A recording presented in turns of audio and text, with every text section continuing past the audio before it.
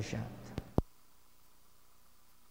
And the rock. And a pretty nice beginning there. Super red. The LA Lagerta, moving upon the outside, the rock to the east. Moon Island is racing in fourth, then followed over by Bright Side, and Super Hawk is the early trader, then nearing the far turn. Super Earth, this time by a length and a half. Rock to the east remains in second, and moving up now to take third, we have Moon Island.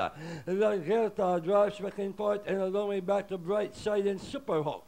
But it's still Super Earth, followed by Moon Island, rock to the east and Lagerta. As they come up towards the home turn, this time we have Super Earth leads by about three lengths. Rock to the east to take second and third once again Moon Island. And Lagerta is running by the what looks likely. A winner now, the favorite, number one, Super Earth. Lagerta, bright side, Moon Island.